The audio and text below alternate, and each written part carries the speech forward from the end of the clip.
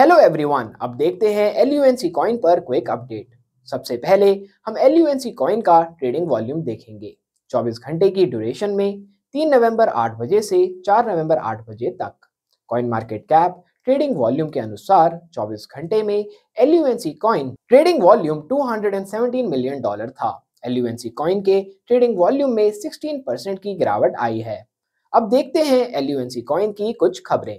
टेरा classic अक्टूबर में बड़े पैमाने पर डेवलपमेंट टेरा क्लासिक नेटवर्क में डेवलपमेंट बिना वीसी फंडिंग के कम्युनिटी ओन्ड होने के बावजूद रैपिड पेस से आ रहा है.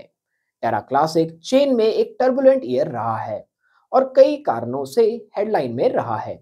साल की शुरुआत में मंदी के क्रिप्टो बाज़ार की ट्रेंड को कम करने और बड़े पैमाने पर डिसेंट्रलाइज क्रिप्टो मनी के वादे पर नई ऊंचाई बनाने से लेकर मई में शानदार रूप से कोलैप्स तक। साउथ कोरियन प्रोसिक्यूटर्स ने डोक्वान पर टेरा की कीमत में हेरफेर करने का आरोप लगाया।